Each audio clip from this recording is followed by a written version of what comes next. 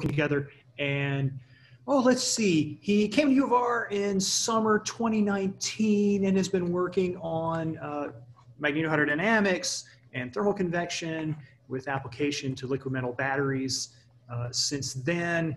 And uh, he was a great fit for the scientific goals because he's quite an expert on magnetoconvection uh, for a long time, just not with technological motivation before. Uh, he earned a PhD in, gee, John, remind me, it, it's uh, planetary physics? Yeah, the name of the degree is geophysics and space physics. It's a little, a little convoluted. Uh, and that was at UCLA with Jon Aurnou thinking about uh, planetary cores and fluid flows in planetary cores. Uh, and he also worked for three years uh, as postdoc with Rudie Kunnen in Eindhoven, uh, building a, a, really colossal thermal convection experiment that's produced some, some very impressive results. Uh, so maybe without further ado, I'll hand things over to John to tell us about uh, the recent experimental work on convection and electrovortex flow and related phenomena in liquid metal batteries. Thanks for the intro, Doug. Let me try to share my screen and let's see if this works the way it did when we tested it. You all see the, uh, the presentation view? I do. great.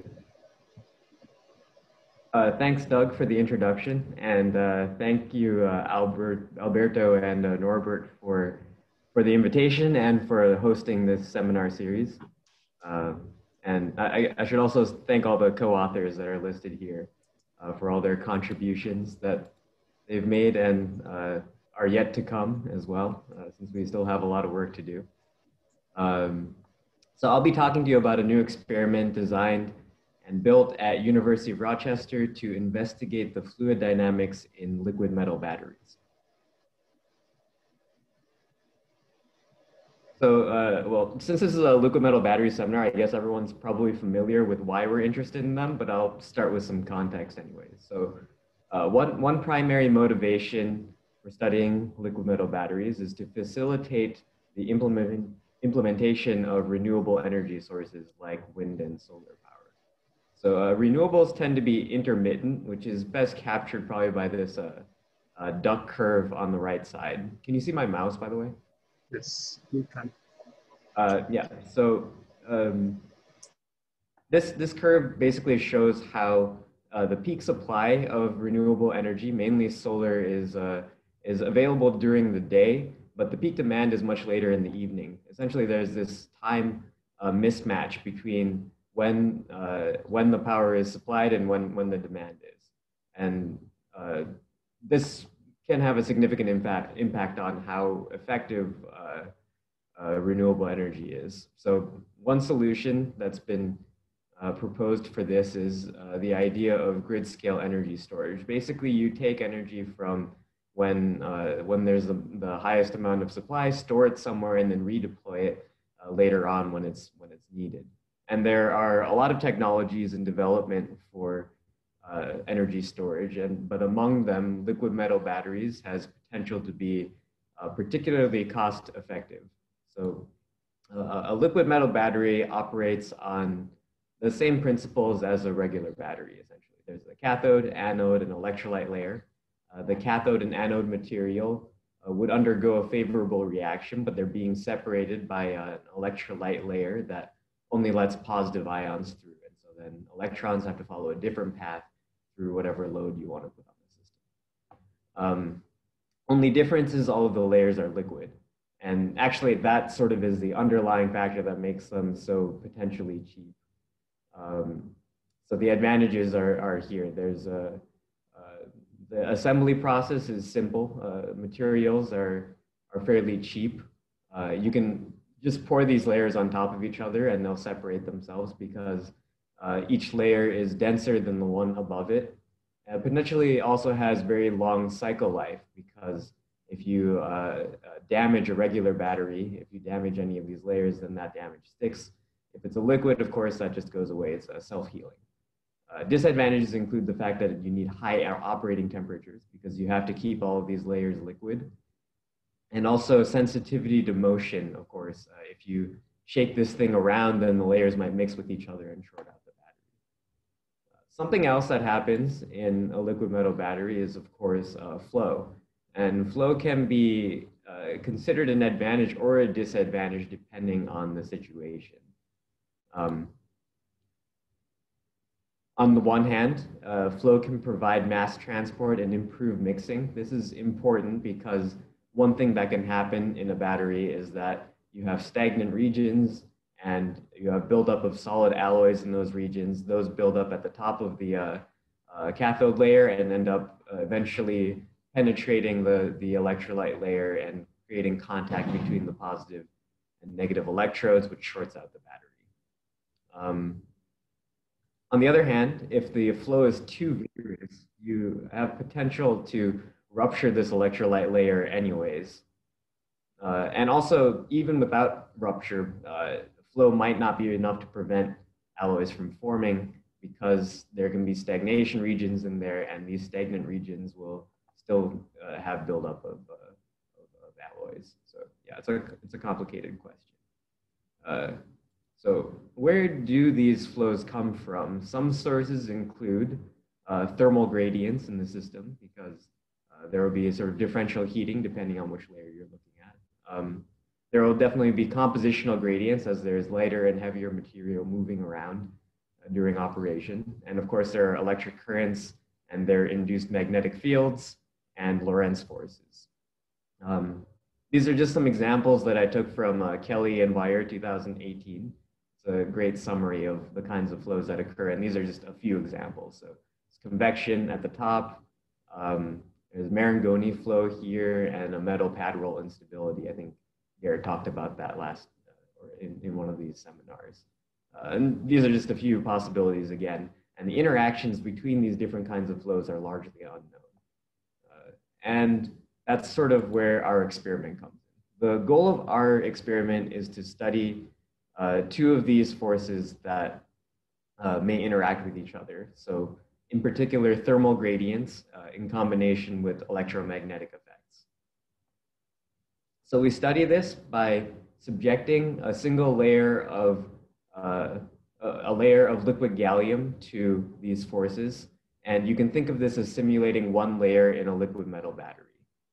Um, the nice the, the advantage of using gallium is that it's liquid at room temperature, uh, but it has similar material properties to the liquid metal battery.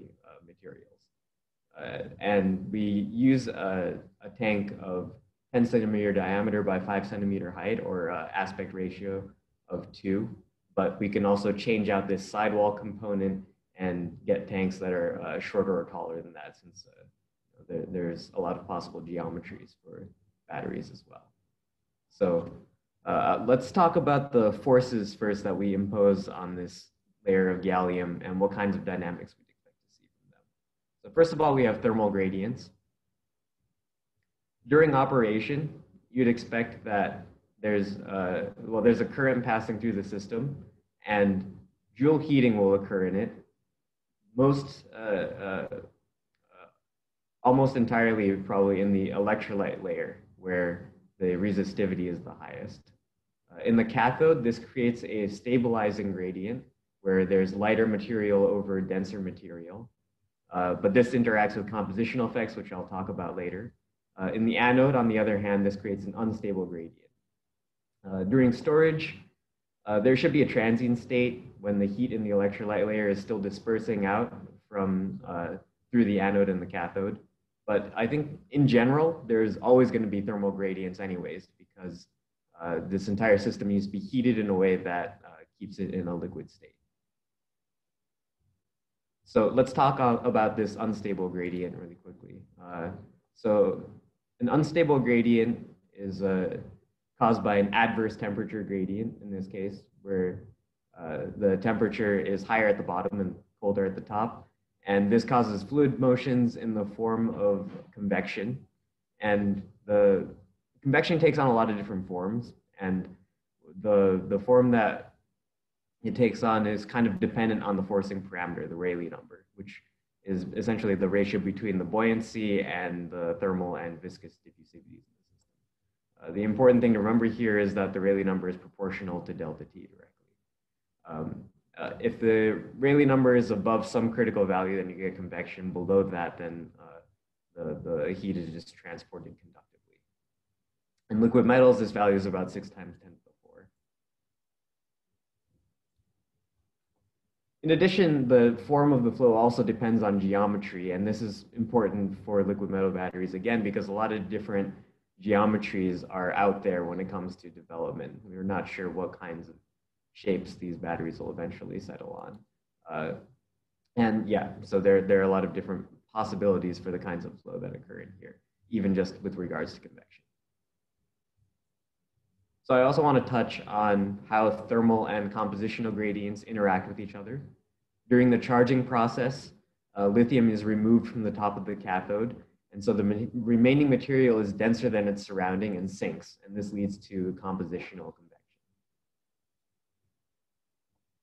Uh, here's a simulation of compositional convection from Personnettaz et al. 2019, just to visualize it. Um, during discharge, though, light material is being added to the top of the cathode, and that creates uh, a, a stratification and suppresses flow. Now, if you throw thermal gradients into the mix, now during the charge process, thermal and compositional gradients are opposing each other, while uh, in discharge, the thermal and compositional gradients are both stabilizing and they would probably act in concert to suppress flow. Let's talk about what happens when thermal and compositional gradients oppose each other. Um, this is something that I was kind of wondering about, something that can happen when the density of the fluid depends on both temperature and composition is double diffusive convection. And I was wondering if this could like feasibly happen in a battery. So during the charge process, again, temperature is stable, composition is unstable, and this is a configuration for a type of double diffusive convection called salt fingers, um, which is visualized here from a simulation by Sinjan Srinivasan. The control parameter for this is R rho, which depends on the ratio between the thermal and uh, compositional gradients and the condition for it to occur is when this R rho is between a value of one and the ratio of the thermal and compositional diffusivity is kappa T over kappa S. Um, and optimal growth occurs when R rho is somewhere around one. Uh, I plotted R rho for a sort of battery setup, uh, and you can see that it would require a thermal gradient that's at least about 10 times stronger than the compositional gradient. So that's probably not going to happen in a battery. Uh, in a liquid metal battery, the compositional gradient is much higher than the thermal gradient. So we're probably unlikely to see double diffusive convection. If we go back to this original picture, probably what's happening is that compositional convection is dominating uh, in, in the cathode during the charge in fact, if you compare the Rayleigh numbers, I think this is also a claim from uh, Personnettaz et al. Uh, the compositional Rayleigh number is about a factor of 10 to the sixth greater than the thermal Rayleigh number. So we impose thermal gradients in our experiment by using heat exchangers.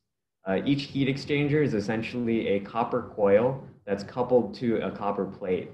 Uh, copper is the material that we use in order to maximize heat transfer and try to make uh, uniform temperatures across each boundary. Each of these heat exchangers is connected to a reservoir of hot or cold water, and we can switch them around in order to, uh, to create a uh, convective or destabilizing gradient, which is what's pictured here, or we can just attach the, the reservoirs differently and we can have a, a stabilizing gradient. Uh, there, there are a few experimental considerations that came in. Uh, so there's a couple of ways that heat exchangers, uh, that the temperature on these uh, surfaces can become non-uniform. Uh, in one case, they might be too sensitive to convective plumes. Um, so this is determined by the Biot number. Essentially, if you have a, a, hot or cold plume impacting the surface, you want to make sure that that surface still stays at the same temperature. Um, and that's characterized by the Biot number. And uh, I won't go into details about that, but you can, in the convection problem, you can simplify it into this form where the Nusselt number here is the, uh, uh, the non-dimensional heat flux. And you want this number to be somewhere below 0.1 or so. Um, and so for the maximum Nusselt number that I could, that, that we would get in, uh, in our experiment, I calculated the Biot number versus the plate thickness. You can see that we need a plate that's thinner than about one centimeter. On the other hand, uh, the, the copper coils are spaced out. Uh, and this is because we have to fit some instruments through them and just in general, there's going to be some spacing between, uh, between these coils. Uh, and in order to make it so that the surface temperature is uniform, we want to make sure that the plate is thick enough that it's not sensitive to the coil geometry. Uh, and Ibrahim uh, conducted some simulations to show that somewhere in this range of about 10 centimeters, you, you want to get higher than, than, than let's say like about five centimeters, uh, 0.5 centimeters or so in order to get uh, uniform temperature gradient there. So we kind of found a sweet spot. We settled on a plate thickness of about a quarter inch or 0.6 uh, centimeters in order to take both of these factors into account. So now I want to talk about the kind of electromagnetic flow that we, uh, that we study. So if you take a look at our mock-up of the liquid metal batteries again, you can see that there are diverging or converging uh, current densities in both the charge and discharge process. Since typically this anode thing is, uh, the, the uh, uh negative electrode is thinner than the positive electrode. We can show with a fairly simple calculation that this necessarily leads to motion. Uh, if you have an incompressible fluid with an external force, and let's say this force is, has a non-zero curl. You can write Navier-Stokes equation like this. Now let's assume that this flow is going to be stagnant. Then it reduces to just the pressure term on the left side and the force on the right side. If you take the curl of this, you know that the left side goes to zero and the right side doesn't go to zero as we already claimed that the force is uh, that, that the force has a non-zero curl. And so essentially this shows that if you have a system where the force has a non-zero curl, the flow can't be stagnant. There has to be some kind of motion that occurs. And in the case of liquid metal batteries, the kind of motion that occurs is electrovortex flow. Uh, if you have a diverging current density in an axisymmetric system, this produces a Lorentz force with non-zero curl, and the electric currents interact with their own magnetic fields in order to generate this flow. The strength of electrovortex flow depends on this EVF parameter and is proportional to the imposed current squared. Uh, and the velocity is in, in turn proportional to this S parameter raised to a factor of one half. Uh, and the, the, the shape that you'd expect to, it to take is this kind of strong descending jet in the middle underneath the uh, negative electrode. The flow can also easily take on other forms though. Uh, so for example, if there's a external magnetic field or even something that perturbs the Earth's magnetic field in the vicinity of the electrodes, you can uh, get an onset of something called a swirl flow where there's a azimuthal motion um, that quickly overtakes a lot of the dynamics in the system and makes this jet In our experiment, we uh, impose uh, electrovortex flow by having a wide positive electrode and a narrow negative electrode. So the, the uh, negative electrode is a small copper rod that's isolated from the top plate by a plastic fitting, while the positive electrode is the entire bottom plate. And this is a simulation of, of well, it's a theoretical result by Gerrit Horstmann showing what kind of current distribution you'd expect uh, in, in a, a, system with our geometry. Uh, here's a clear diagram of the intended current paths through the experiment. So the power supply uh, can supply between 0 and 90 amps. Uh, the top electrode is a plastic fitting with a copper rod inside, like I said, uh, but there are several interchangeable electrodes. Uh, and the bottom electrode, it's technically, there's a rod coming in to the bottom that carries current into this plate. Uh, and uh, for both of the, the uh, positive and negative electrode rods. These are at least 0.5 meters long in order to avoid horizontal currents uh, uh, generating vertical magnetic fields that could interfere with the flow.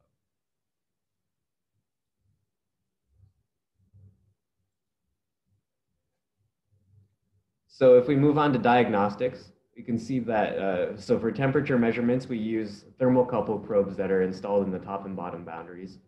Uh, these allow us to measure the temperature roughly at the fluid layer, uh, and they give us a good estimate of the, the Rayleigh number. For velocity measurements, we have a number of ports installed around the system, and these hold ultrasound probes. So velocity measurements are difficult in liquid metals because liquid metals are opaque, right? If you have a transparent fluid like water, then you can get 2D or 3D flow fields using PIV or other techniques like that.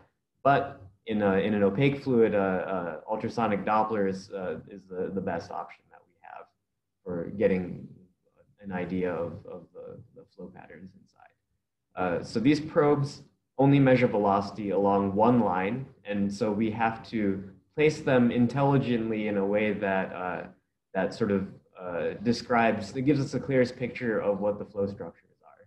And this is just a diagram of where these probes are placed in our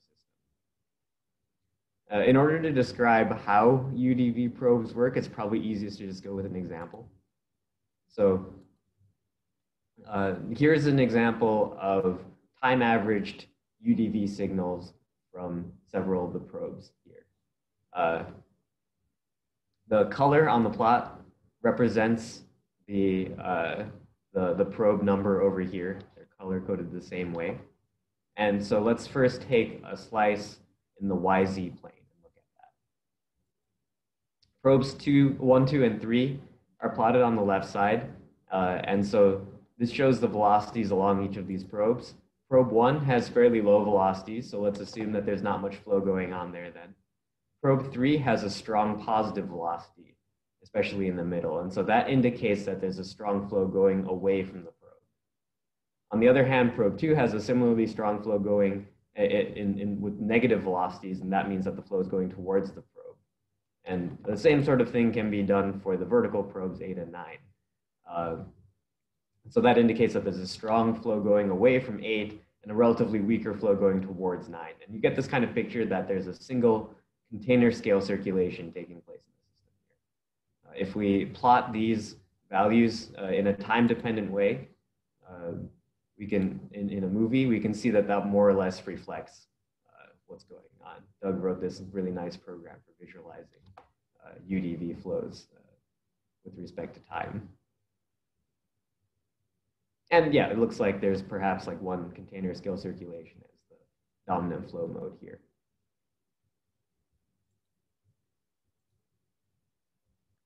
So uh, we characterize the dynamical properties of the flow using the Reynolds number and velocity measurements play into this because of uh, the, the way that Reynolds number is defined. So uh, the, the question though is how you estimate the Reynolds number uh, in uh, using UDV. So in, in uh, uh, flow field measurement methods like uh, PIV or particle image velocimetry, you can sort of get a general idea fairly easily for what typical velocities are like. But in UDV, you only have one component of the velocity for each probe and only, uh, and only measurements along these probe lines, of course, so a small portion of the volume. so estimating Reynolds involves some careful thinking. Uh, we could take the overall mean or RMS velocity uh, by looking at this whole, uh, the, the velocity over this whole thing. But uh, that this might be misleading because there a lot of the flow could be uh, out of the, uh, could, could be not parallel to this probe. So perhaps only this peak region here is reflective of the actual velocity that's happening where the velocity and the probe beam are lined up with each other. Uh, so that's another method of doing it that we thought of where you just look at regions of the peak velocity, find uh, a value of velocity that's within the vicinity of that, and then look at uh, taking the mean of the velocities in this region or the RMS of the velocities in this region or the RMS of just when the velocities are hitting peak values in that region. These are just three other methods that we came up with here. Um, and then apart from that, you also have to do this for every probe and then decide how you want to combine data from different probes. So maybe some probes are more representative of typical velocities while others are not, or you can just sort of average all of the values together. So uh, that's what I've done first. I've averaged, uh, I start out by averaging all of the UDV probes, and then I apply all four different methods for estimating the velocity. And you can see that uh, uh, I've plotted the Reynolds number here versus the Rayleigh number, and they seem to fit these power law scalings, although some of them, uh, some of these techniques do a better job than others. A general observation is that you can see that there's a large variation in the absolute values of the Reynolds number. Uh, but they do seem to lie along these power law scalings. A prediction from Grossmann and Lohse theory is that the Reynolds number and the Rayleigh number should scale as 0.5 and some of these methods do do a pretty good job of fitting that scaling. While some of the others are, are maybe a little bit poorer than that. Uh, we've been talking about water convection so far, so let's move on to uh, gallium convection. Gallium, we have the same setup of UDV probes. Uh, you can see though on the left side that uh, gallium signals are a little bit messier uh, in uh, the UDV data. There's a larger region of noise in the front, and in general, you have a kind of a kind of noisier signal in the bulk as well. Uh, but maybe surprisingly, when you plot the Reynolds number versus the Rayleigh number, uh, again, you still have a fairly large variation in the absolute values depending on what method you use. But they all agree quite well to the power law, and they all have very similar scaling exponents. For a liquid metal, Grossmann and Lohse theory predict that the Reynolds number should scale as Rayleigh to the 0.4, and it seems like they all line up with that pretty well.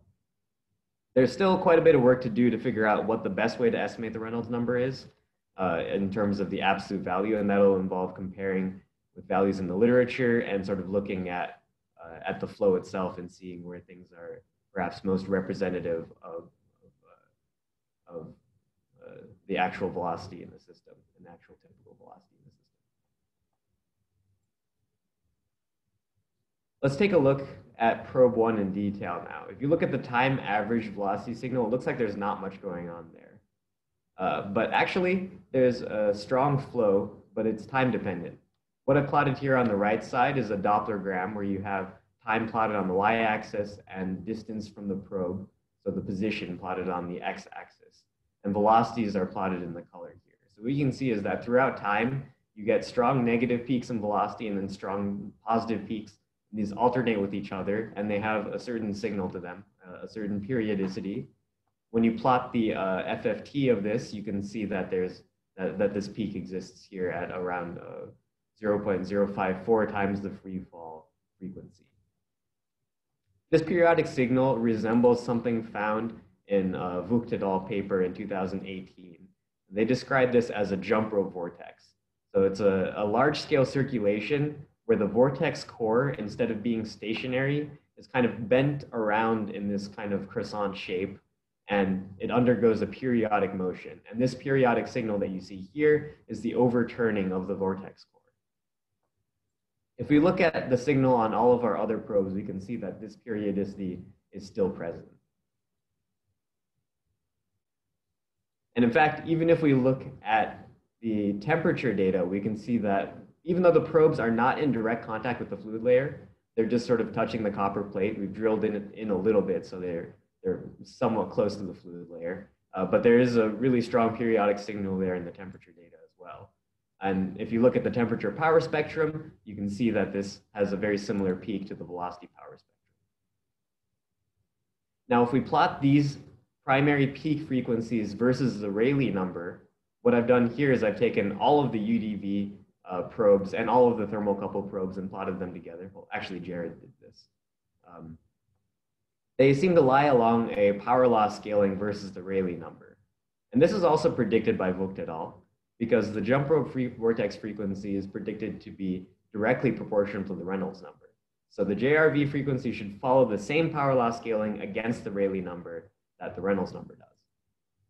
And if we take all these average values and plot uh, the thermocouple data and the UDV data separately, we can see that both of these frequencies are proportional to Rayleigh to the 0.38. Once again, in liquid metals, we expect it to be uh, a, a factor of about 0.4, which is a fairly close agreement. So I think we've gotten a little far afield. How does this apply to liquid metal batteries? Well, I think that the interesting thing here is that the jump rope vortex gives direct information about the state of convective turbulence in the system, but without any actual direct velocity measurements. All you need is a temperature probe in the vicinity.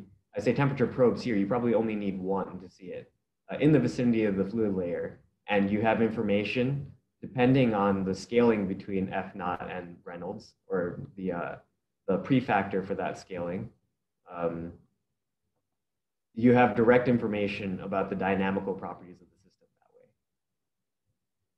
Another idea that I was wondering about, and I don't have any proof of this yet, I probably need to look at simulations to figure this out. Uh, I wonder if this kind of vortex core has uh, less stagnation regions than a regular large scale circulation. So in a regular large scale circulation, the vortex core is stationary and fluid parcels are kind of trapped there in, inside, that, inside that central region.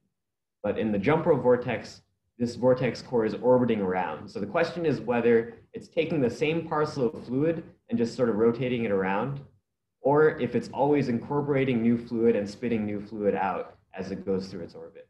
Uh, if it's the latter case, then that might actually be very useful for liquid metal batteries where you're trying to avoid stagnant regions.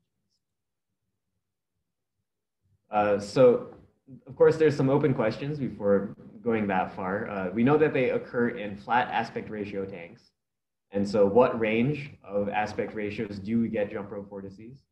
Uh, how does the relationship between uh, the jump rope vortex frequency and Reynolds change with aspect ratio? I think we expect that the exponent, that the power law scaling remains the same, but there's probably a different prefactor defining uh, the relationship between the frequency and the Reynolds number. And finally, what about different boundary conditions? In a liquid metal battery, uh, you have at least one free surface while uh, for each of the layers, while in our system, we have all non-slip boundaries. So we would have to test it out with a free surface and see if we still get a jump rope vortex. So let's move on to electrovortex flow results now. Uh, so these are created once again by imposing a current uh, through a, a, narrow top electrode and a wide bottom electrode.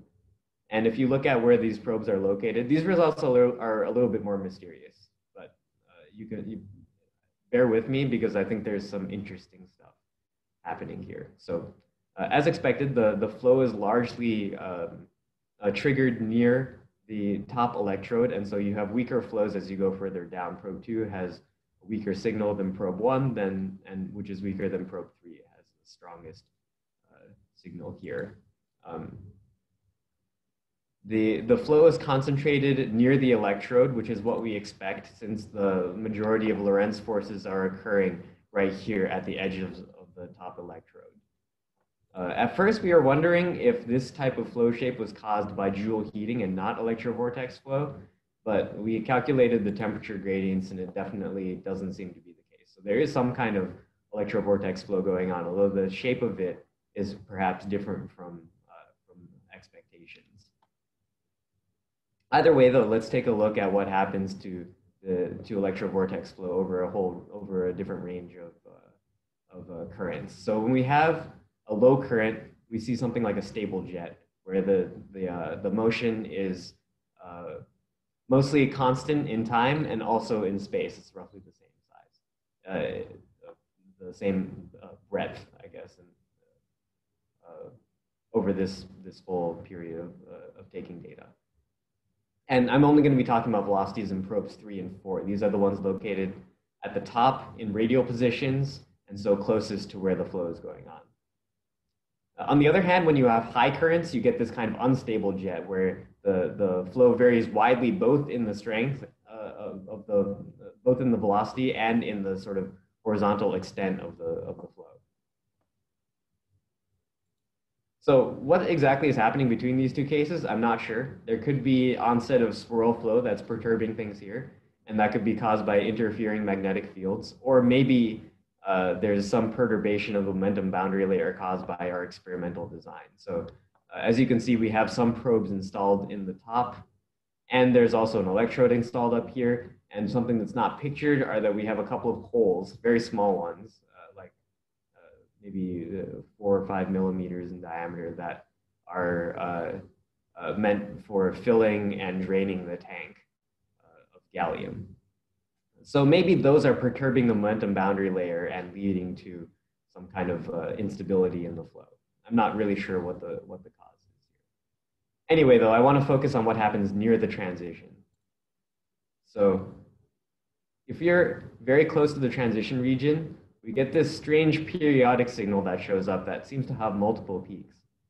Um, one idea that I had this, is that this is caused by stable stratification. So if you look at the temperatures here, I've actually imposed a light, stably stratified uh, setup where the top temperature is slightly warmer than the bottom, than the, than the bottom temperature. And the reason for this is that if you have any kind of destabilizing temperature gradient, convection is likely to like dominate the system very quickly.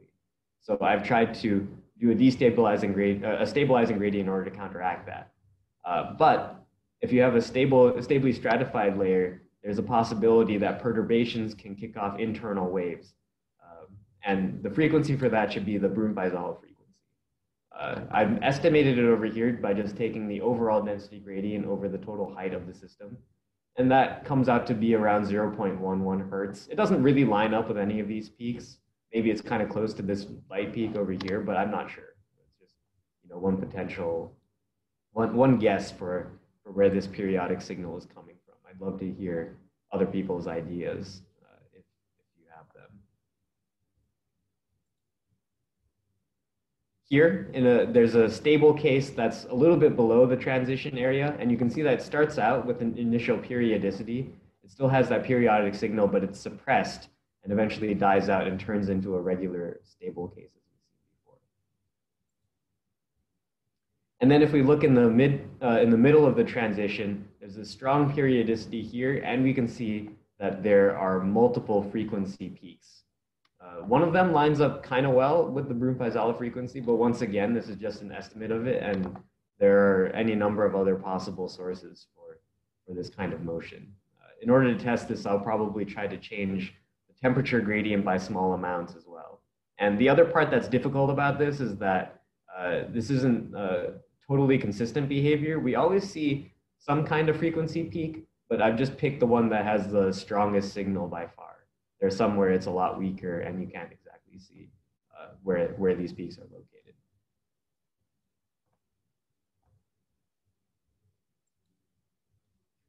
So uh, I think I should also address the, the sort of elephant in the room. Uh, if you look at electrovortex flow, the, the theoretical derivation of it should be some kind of axisymmetric flow, where you have a jet going downward in the middle and all other flows are going towards that jet where probes three and four should be located. But that's not what we get. We get this negative peak here that indicates flows going strongly towards uh, probe four in the middle. And for probe three, we see a, this strong negative jet and also a positive, uh, a positive flow going away from the probe right after that. And so there, there's something going on here with our electrovortex flow setup that I don't quite understand. Uh, there's uh, one thing that we noted is that there seems to be a dependence on the position of the top lid. So once again, maybe there is some electromagnetic effect from uh, materials on the top lid. We've tested this out by replacing everything that's conductive on the top lid with, uh, that's uh, magnetic on the top lid with non-magnetic materials. but we still get kind of a similar result here. So maybe that's, it's because of a perturbation of the momentum boundary layers, like I was saying earlier. Uh, holes or other other divots or something in the, in the top lid. Um, or maybe the current is going in places that we that we uh, don't expect. Uh, either way, we're testing this out by rotating the top lid through a lot of different angles. If you look at the diagram below, you can see that there are six possible positions that we can uh, uh, rotate, or uh, more than that. But we can rotate this top lid through several different positions and see how that changes the, the flow that, that we get during, uh, when we apply current. And a future test that we can do is just to remove the top lid entirely. We can design a version of this that's hollow, and we can track flows directly by applying the electrode to, the, to a free surface. It will be a slightly different problem, and we won't be able to get some of the diagnostics or temperature control that we want. But uh, either way, it's, it's something that we can test out. So uh, I'll leave you with that uh, in, in conclusion. Uh, the viability of liquid metal batteries depends heavily on the, the flows that are occurring in them.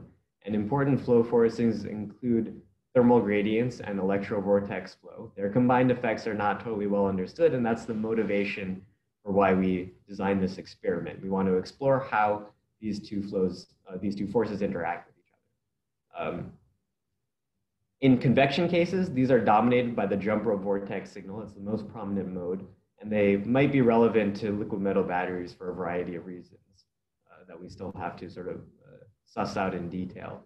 In electrovortex flow, we see stable and unstable jets, and we see strange periodic behaviors. Uh, and for future work, we have some quite a few mysteries to solve. We have to figure out what's going on with the uh, electrovortex flow asymmetry and why there's a dependence on the top plate orientation. Uh, we want to try out containers of different aspect ratios and a free surface setup. This free surface setup will be useful for both uh, figuring out what's happening in electrovortex flow as well as trying to reproduce a jump rope vortex with a free surface. Uh, and then finally, the overall goal of the study is to find some dominant flow modes over a broad range of parameters. So I've shown you some specific cases.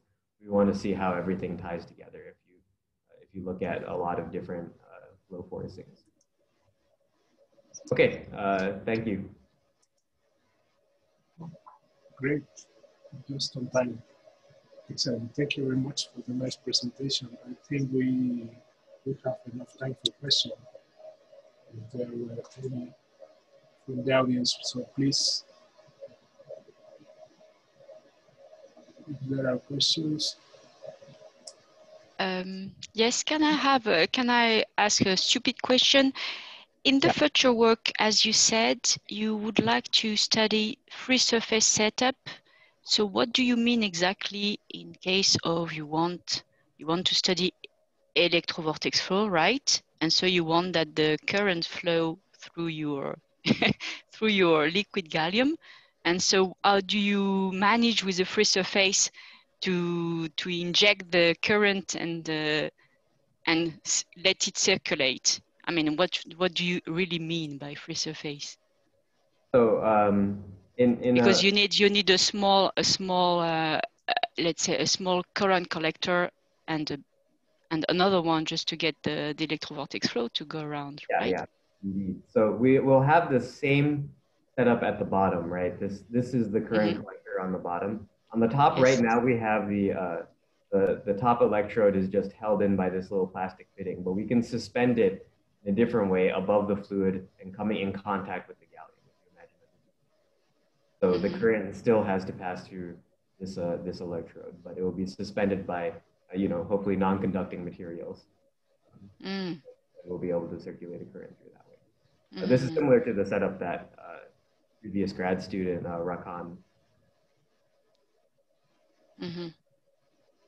All right, okay. Thank you. I hope that makes sense. More questions?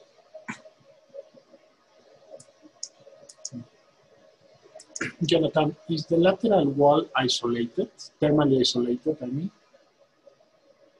Uh, yes, so uh, you can kind of see it uh, briefly in this last slide.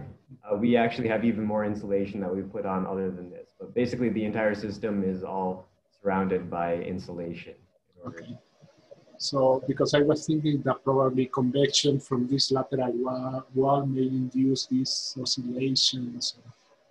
Yeah, yeah, that's certainly possible. But I think that our thermal control is fairly good and we have temperature probes. Well, we could also put temperature probes along the sidewall, uh, but the ones on the top and the bottom seem quite consistent with uh, uh, temperatures that we put in through the uh, chiller and thermal bath. Thanks. I have a question in chat from uh, Michel Rivero. I hope it's okay to respond to this out loud. No, we don't have Um. So he asks in our experiments, did we consider possible inclinations of the container? So, you know, if you- there's a small inclination that could break symmetry in the flow. And.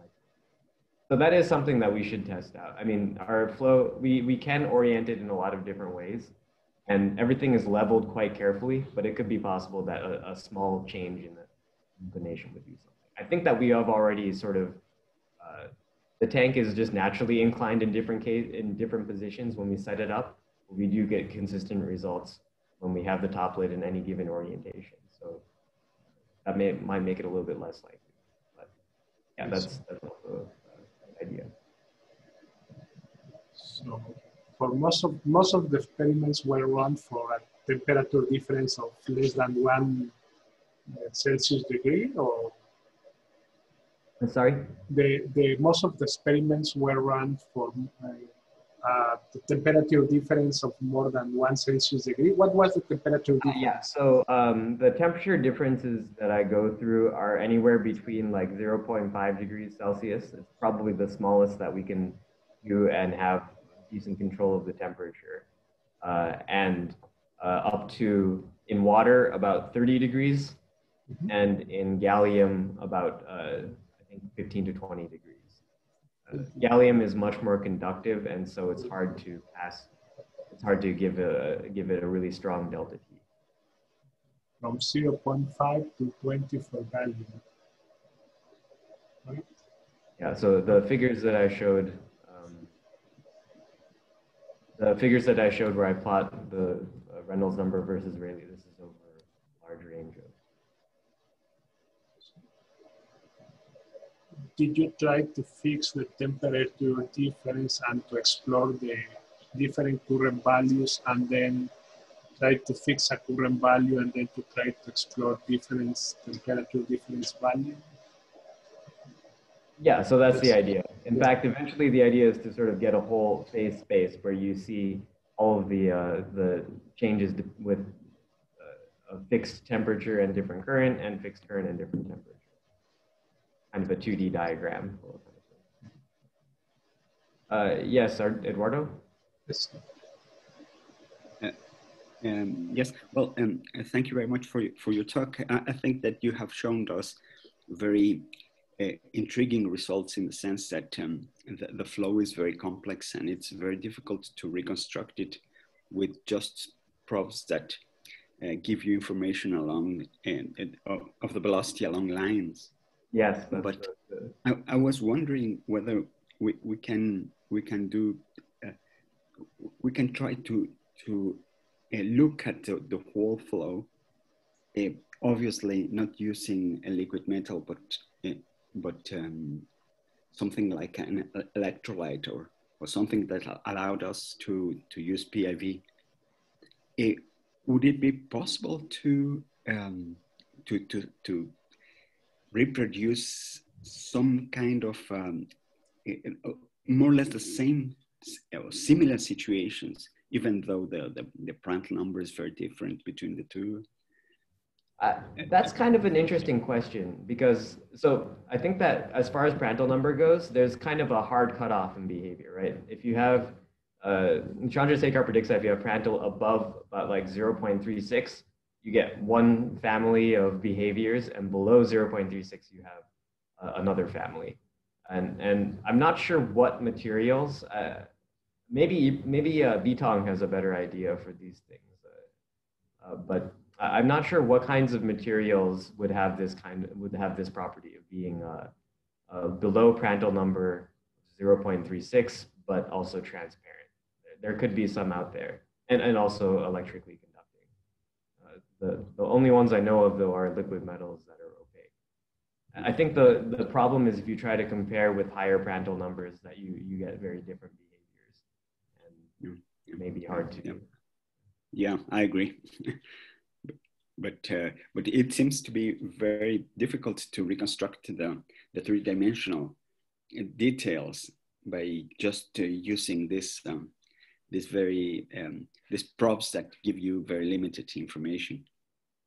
Yeah, uh, so there, there may be a possibility to do a better job as well. The the the um, results that I show you on electrovortex flow at the end are only the horizontal probes. And the reason we did that is, uh, the reason I've only shown those that I removed the vertical probes since they were somewhat close to the, uh, to the um, uh, uh, electrode, the negative electrode. And I was worried that they'd be interfering with the flow.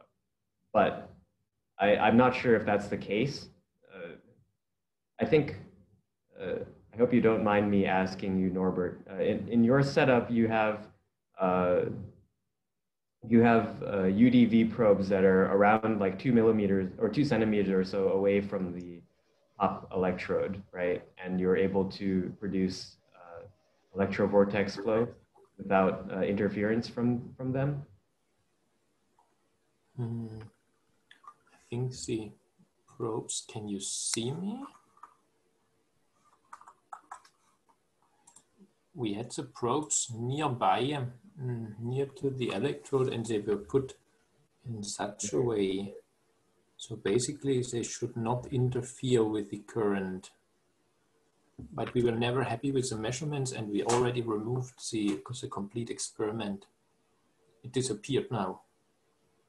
You do have a, a stable jet in some experiments, though, right? It was never stable. It was always like that oscillating, but we had 80 ampere because yeah, we simply did not try it with a smaller current. So it okay. was, was really chaotic, unsteady. I see, yeah.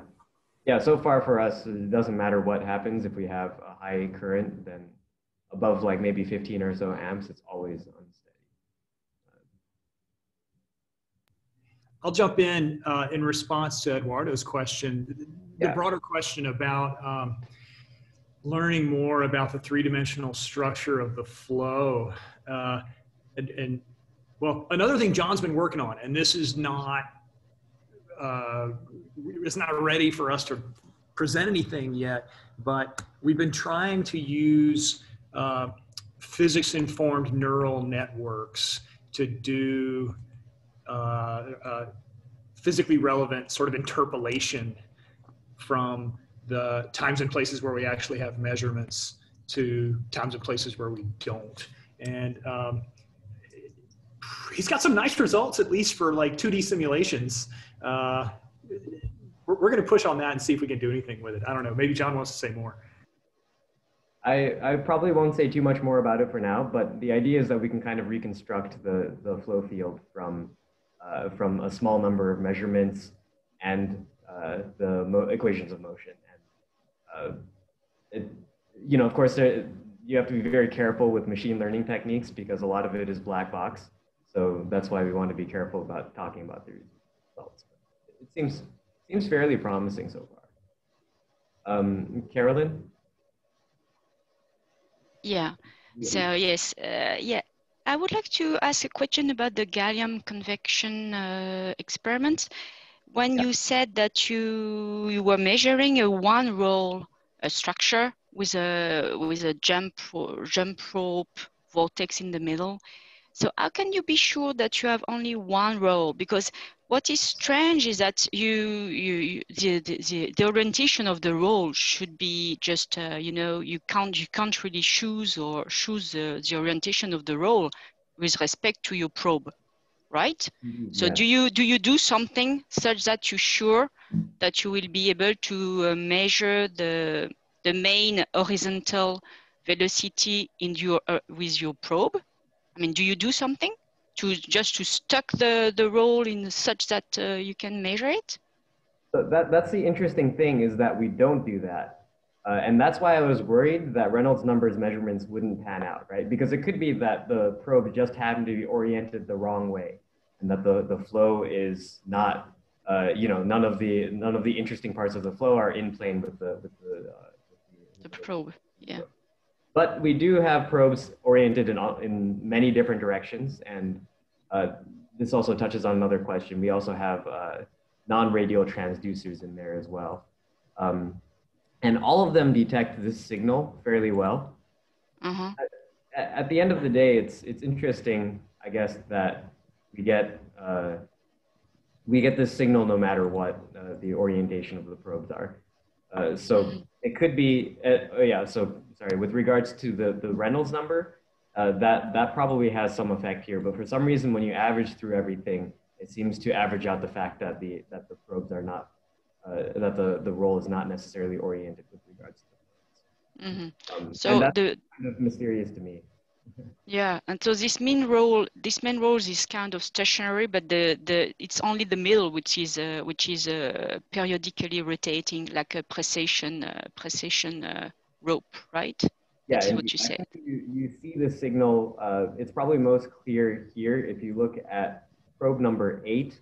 This one is oriented very close to the sidewall and it has the weakest signature of the drum rope vortex. I believe that if you plotted an FFT of probe eight, you would still see a peak there, but it would be less strong than the others. But yeah, in, in the middle of the container, you have Yes, I see. but towards the side, it's a bit. Hmm. All right, thank you. Uh, there's a there was another question in the chat that I want to uh, Uh, yes, address as soon I can.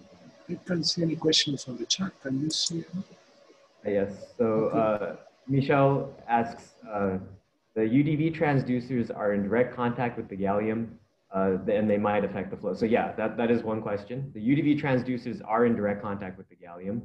Mechanically, I don't think that they should affect the flow. So um, I, I don't have a good diagram of this, but if you look at the, uh, uh, if you if you look at the fitting that we use here, it uh, the back part of the fitting matches up perfectly with the back wall, uh, with the inside wall of the tank, and the UDV probe uh, fits perfectly inside of this fitting. And so there are perturbations on the scale of like maybe a millimeter, half a millimeter or so in, in that part, but uh, they, they generally create a fairly smooth wall.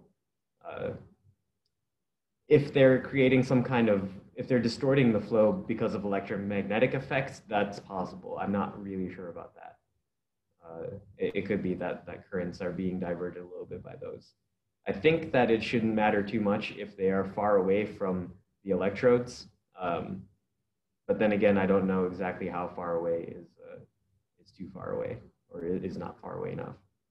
Uh, and also you mentioned that there were, that it didn't show measurements on the non-radial transducers. Uh, there was no particular reason for that. If you want, uh, there, there's one here, probe five, uh, that's uh, oriented in a, in a chord position. Probe six and seven are also in a chord position. The, I could also go into more detail about the strength of the um, uh, non-radial flow here in electrovortex flow results. We do see some kind of weak swirl signal. It's usually, I think in all the cases that I show here, it's on the order of about 0.5 millimeters. Significantly weaker than the non-radial flows, than the, than the radial flows, but still present. Okay. Thank you. Probes number eight and nine, do they penetrate the copper, the upper copper plate or not? They do. Okay, so this will not affect the temperature distribution on the top plate? I don't know. Uh, I don't think it does. The current, the top plate should not be experiencing current is the idea of this design. Uh, because the uh, upper electrode is isolated from the rest of the top plate. But if they're if they are magnetic, they might be bending current lines a little bit. So actually, we've already tested it out by moving probes eight and nine. The electrovortex flow results I show at the end, we've removed play, uh, probes eight and nine, uh, replaced them with brass fittings, which I hope is uh, non-magnetic enough. But we have a, a Gauss meter in the lab that we can test. Thank you.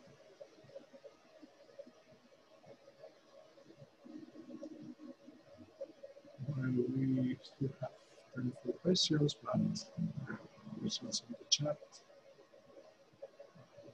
Any more questions from the audience, maybe? Uh, it seems that no, there are no more questions. So uh, we just would like to thank you very much, Jonathan, for the nice, very nice presentations and very exciting results yeah. So yeah, thank you very much for, for, for your time, your presentation, and to share with us your uh, experimental results.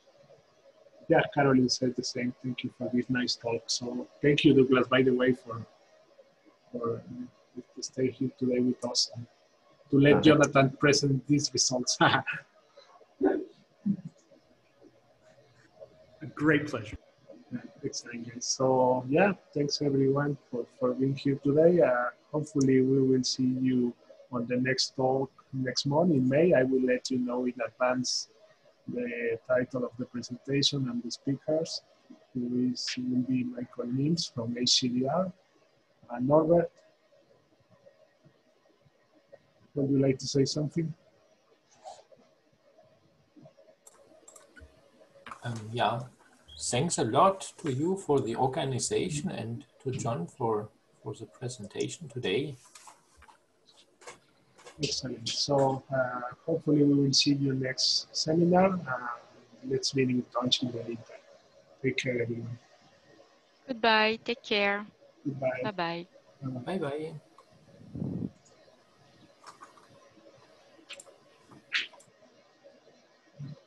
So.